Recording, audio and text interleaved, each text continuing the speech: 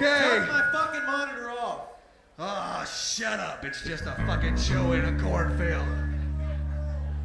Oh, I wrote this next song when I was pissed at Tim Yohannan because of the review he wrote for my record in MRR. He said that we were racist, homophobic cavemen, and I'm pissed because he left out the sexist part.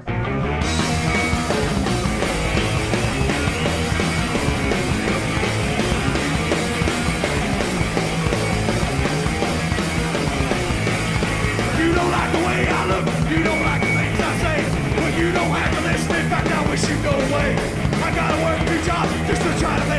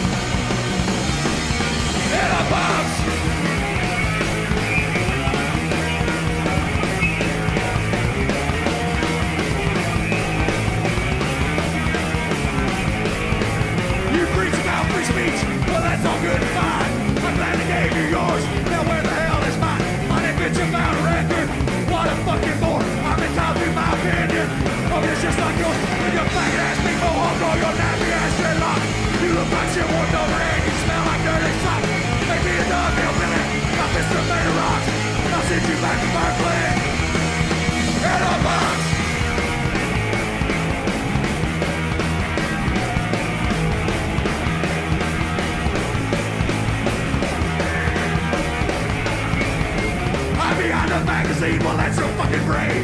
Step up to me in person, then I'll lay you in your grave. Looking down from your ivory tower, that's where you need to be.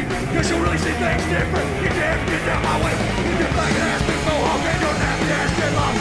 You look like shit warped over and you smell like dirty socks. Maybe a dumb hillbilly, my fist are made of rocks. I'll send you back to Berkeley. In a box.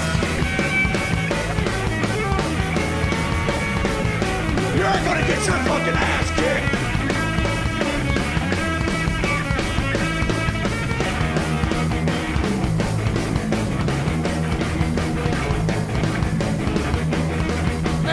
Steve Dogred, and we'd all be better off if your Berkeley ass was dead. With your faggot ass big mohawk and your nasty ass dreadlocks. You look like shit warmed over